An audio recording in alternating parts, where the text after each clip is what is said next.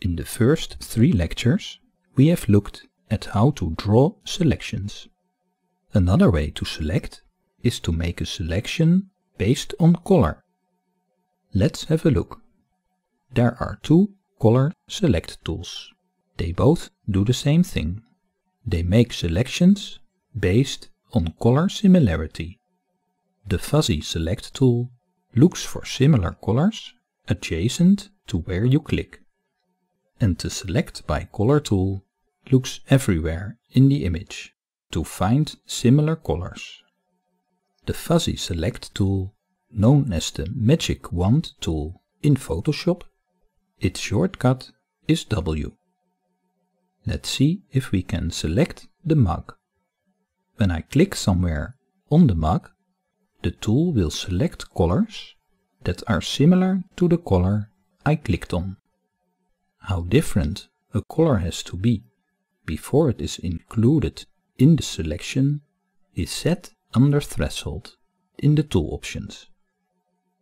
The higher the threshold, the more colors that will be included in the selection, and so the larger the area of the selection will become. An efficient way to increase the threshold is by dragging inside the image. If I drag inside the mug, I can see that in the tool options the threshold is going up. And as the threshold is going up, more and more pixels are added to the selection. At some point, however, the selection will go outside the mug. In an ideal situation, I would be able to select the whole mug before the selection goes outside the mug. However, objects in the real world are not always that easy to select by their color. So then the question rises, should I use the selection I have and try to improve it, or am I better off by drawing a path? A third possibility is using the Nik collection, which is specialized in making professional photographic selections. We will look at the Nik collection in another chapter. The other color selection tool is the Select by Color tool.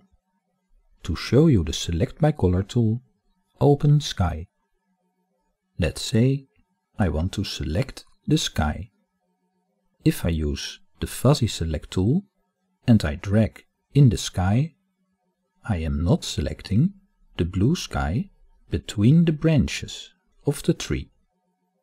This is because the Fuzzy Select tool only selects connected pixels, starting from the place where you start dragging. For the Select by Color tool, similar colors don't have to be connected, so you can get multiple selections. I press Ctrl D to deselect and click on the Select by Color tool. If I now drag in the image, I will also select the blue sky between the branches. To include the cloud, I click on the Free Select tool and zoom in a bit. To add to the selection, I press the Shift key and click once. After having placed the first point, I can release the Shift key. Now I click between the cloud and the mountain, above the branch, and I will continue to click outside the image so that I'm sure that I include everything. I will now close the selection and press enter. I have now added the missing pixels in the left corner. With my selection loaded, I will now press Ctrl J. Ctrl J will place the selected sky on a separate layer. I will hide the background to see the result. I press Ctrl L to open levels. I can now brighten up the sky. To get a selection of the sky again, I can alt-click on the sky thumbnail. To get a new layer with the original sky, I click on the background and press Ctrl J again. In the next lecture, we will look at ways to improve a selection.